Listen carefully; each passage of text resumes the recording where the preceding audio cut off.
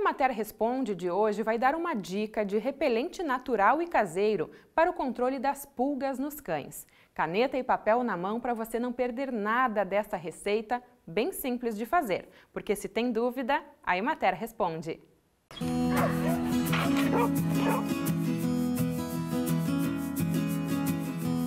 E o Emater Responde de hoje veio até Viamão, na localidade de Passo do Morrinho, para responder a dúvida técnica da nossa telespectadora que nos escreve da cidade de Magé, no Rio de Janeiro, a dona Olecira das Graças Silva. Ela pergunta se há um meio natural de tirar pulgas dos cães. Ela mora sozinha e gostaria de ter um cachorro, mas ela acha muito caro pagar pelos antipulgas convencionais. E quem vai resolver a dúvida técnica da dona Olecira é a veterinária da Emater, no escritório municipal de Viamão, Lisiane Ávila. E aí, Lisiane, tem solução? Tem, tem solução sim. Tem alguns produtos fitoterápicos, onde a gente pode fazer uma loção. Temos um sabão, alguns óleos, tem uh, alguns produtos homeopáticos e também uma solução de forma manual de se retirar pulgas. Mas antes disso, é importante esclarecer a dona Alessira sobre uh, o que, que é a pulga, o ciclo dela, como é que ela se desenvolve tanto no animal como no meio ambiente para que ela entenda como se trata, né, como se controla esse inseto. Então, a pulga, ela é um inseto e ela, assim como qualquer outro inseto, ela tem quatro fases de vida. Né? Ela está em fase de ovo, em fase de larva, de pupa e adulto. Então, ela se desenvolve nessas quatro fases. A pulga, então, coloca seus ovos no cachorro esses ovos caem, se depositam no ambiente onde ele dorme, por onde ele anda, se depositam ali e em torno de cinco dias no máximo eles já eclodem. Essas larvas, quando, quando saem do ovo no ambiente, então elas se alimentam de dos excretas das próprias pulgas adultas, de pele também, né, de restos de pele. Então elas vão se desenvolvendo no ambiente e no ambiente é, de calor, onde a dona Lecira mora, é fácil de controlar porque elas não, ficam, não gostam do calor. Elas vão normalmente para um lugar mais fresco para poder sobreviver. Então, quando ela já está desenvolvida como adulto e sente a presença do hospedeiro, no caso cachorro, gato, até mesmo ser humano, é, a, a pulga adulta ela sai da pupa e começa o seu desenvolvimento mordendo o animal, se alimentando do sangue. Então, esse é todo o ciclo que acontece com a pulga, tanto no ambiente como no, no cachorro, no caso uh, que nós estamos comentando. Além disso, também uh, a pulga pode transmitir doenças para os animais. Né? Ela pode transmitir doenças uh, com bactérias, transmite parasitas, uhum. é, um dos parasitas é o dipilídeo, então também transmite isso para os animaizinhos. Então é um, uma preocupação bem pertinente de cuidar né, dos animais com relação à pulga. Uhum. E principalmente a preocupação dela que seja então com produtos naturais. Uhum. Mas como a gente viu, a maior parte das pulgas estão no ambiente e não estão no animal. Uhum. Todo aquele ciclo que eu falei, né? A maior parte delas, do ovo, a pupa, e a larva estão no meio ambiente praticamente e a pulga adulta está no cão. Uhum. Então, uma forma de tratamento no cão de forma natural é utilizar algumas plantas uh, que a gente chama de fitoterápicas, né? plantas que agem como inseticida. Uma das plantas que é muito utilizada é o óleo de nim. Tu pode usar óleo de nim, extrato de nim, pó de nim tem várias formas que eles são encontrados no mercado em floriculturas ou em pecuárias. Então, utilizando o óleo de nim, a gente pode fazer uma solução onde vai uma solução a 1% do óleo com água. Só que toda vez que a gente vai utilizar essa solução, ela deve ser agitada para que uh, o óleo se misture com a água. É uma tá. solução fácil de fazer. Sim.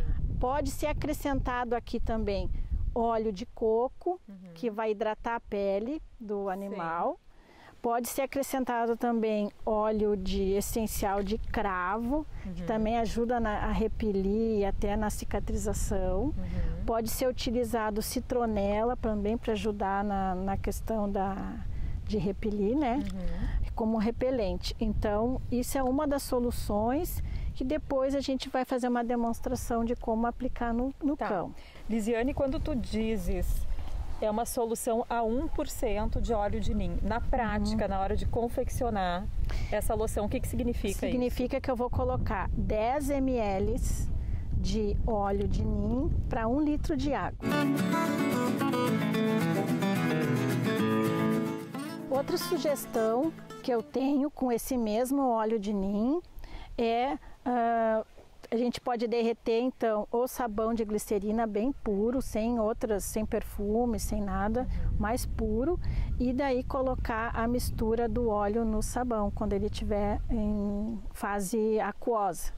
Se eu quero fazer na minha casa esse sabão antipulgas, uhum. eu pego uma barra de 200 gramas de sabão de glicerina ou de coco Isso. e coloco quantos ml do óleo de nim? 20. Misturo é, eu derreto em banho-maria até a fase aquosa, né, até ficar líquido. Deixo morninho assim até que o dedo aguente o calor e aí misturo então é, para 200, uma barra de 220 ml de óleo de nim. Tá. E aí boto numa forminha. Numa forma para dar o formato. É, para dar um formato e coloco na, no freezer, na geladeira para endurecer bem o sabão. E esse sabão então eu utilizo fazendo, dando banho no animal, né? Uhum. Deixo uma espuma ali agir uns minutinhos, dois, três minutos uhum. e enxago bem o animal. Por e isso que é... ele é mais concentrado. Qual é, Lisiane, a periodicidade que tu indicarias do uso do sabão? É, o sabão, aí o ideal seria a gente usar o sabão uma vez por semana para dar banho e a loção todos os dias, ou dependendo de como que está a infestação uhum. da... Porque a loção não necessita enxágue. Não, o tá. sabão, sim. Lisiane, tu falaste na questão do ambiente, que uhum. precisa haver um controle. Uhum. O que, que a dona Olecira pode fazer, então, para fazer esse controle ambiental da pulga? Como eu tinha falado, tanto os ovos quanto as larvas e as pupas ficam no ambiente. Então, uma das formas de se reduzir essa população do ambiente é utilizar um aspirador de pó bem potente. Uhum. Então, se aspira por onde o cachorro deita, fica, todas as frestas da casinha dele, da, da na nossa casa, nas, na área ao redor né, da residência se faz essa aspiração. E depois que retira esse pó, tu pode queimar numa churrasqueira ou colocar também um pozinho do ninho ali dentro do saquinho para eliminar. As roupas e as cobertas dos, dos animais que são utilizados também podem ser lavadas e fervidas por uns 20 minutos. Uhum. Ajuda também a reduzir essa população de pupas e todas essas que eu falei. E essa loção ela não pode ser utilizada no ambiente? Pode. Daí tu vai fazer, em vez de usar o óleo, que é para não manchar a casa, para fazer a limpeza da casa e, e, do pátio, tu pode utilizar o extrato, em vez de usar o óleo. Sim, daí tu mistura proporção. o extrato, daí tu vai fazer um pouco mais forte, uhum. porque daí tu não vai usar no animal, tu vai usar uhum. no ambiente. Então tu usa, faz um extrato mais concentrado, mistura né, com uma concentração um pouco maior e utiliza para lavagem. Uhum. Também pode ser utilizado, é, não se eu recomendo assim em terra, né, em areia, aí não, não tem como fazer esse controle nessa é, é a área mais difícil, só em piso, madeira, daí a gente consegue controlar. Então, dona Lecira, para fazer a aplicação da solução de óleo de nim, a senhora vai, antes de tudo, agitar a solução para o óleo se misturar na água e quando for aplicar no seu animal, no seu cãozinho, uh, levante o pelo e aplique de forma que o líquido é, ela atinja a pele do animal. Então vai levantando o pelo e vai aplicando a que o líquido atinja a pele. Né? Então, a gente vai aplicando contra o pelo, vai levantando e vai aplicando. Todo o corpo do animal, né? vai aplicando. Por cima, depois que aplicou aqui, aplica aqui embaixo também. Então, esse também é onde as pulgas gostam mais de ficar.